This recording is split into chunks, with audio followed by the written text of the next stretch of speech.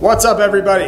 Welcome back to Thrive Fitness in Ann Arbor. Today I'm going to do a follow-up video on the running video that I made a few weeks ago. In the last video, I discussed all the proper running form cues and how to run properly with good form versus bad form and common mistakes to avoid. In this video today, I'm going to teach you how to train yourself to run properly and train the proper running muscle groups by showing you a couple new drills on the treadmill they can utilize to maximize your running performance. Remember, a proper stretching regimen is required to run with proper form and correct posture, along with a proper lower body and posterior chain strength training regimen, which is the back side of the body. Make sure to check out my video on how to stretch to utilize all of the proper stretches needed to run correctly and to keep your body healthy.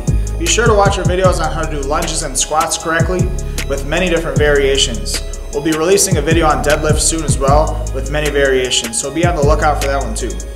Since your hamstrings and your calves are the primary pulling muscle groups in running that allow you to pick your feet up, the drills I'm going to show you today are excellent for the activation of your calves and hamstrings versus heel striking, which causes unnecessary breakdown of the shins, causing shin splints along with plantar fasciitis, hip pain, knee pain, and lower back pain.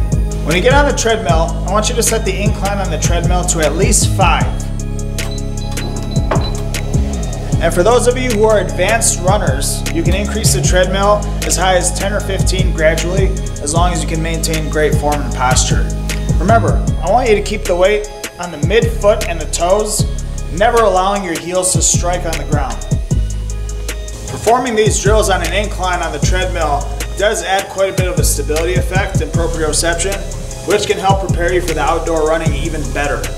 But if you need to build up to a higher amount of stabilization, you can perform both of the drills I'm going to teach you on the ground with the same form cues. The first drill I'm going to show you is called a high knee. So we're going to set the speed on the treadmill between two and a half and five depending on your comfort zone and then you can always adjust it as you go.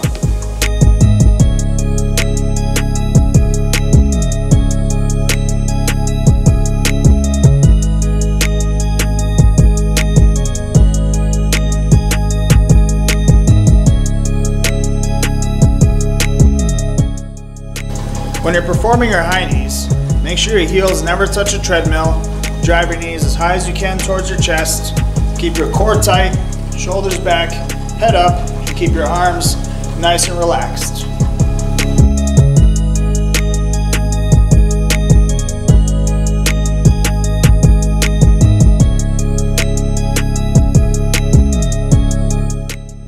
The next drill is a high knee skip on an incline on the treadmill where you're gonna push off with one foot, drive one knee up towards your chest while you reach the opposite hand towards the ceiling, nice and relaxed.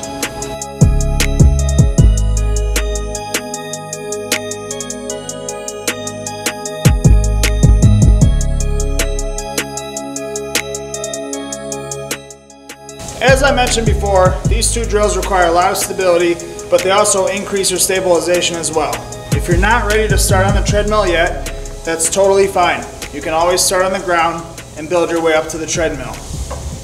You can do these in place or you can do them with a forward motion.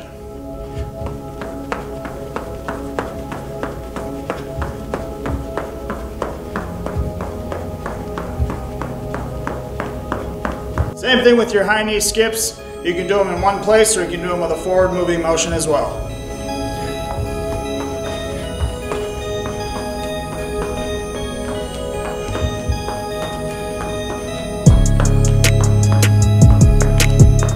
Thanks for watching our agility and running form follow-up video. If you haven't subscribed to our channel yet, don't forget to subscribe for more awesome exercise instructional videos like this and more motivational videos every week. Feel free to comment below on any requests that you have for us as well.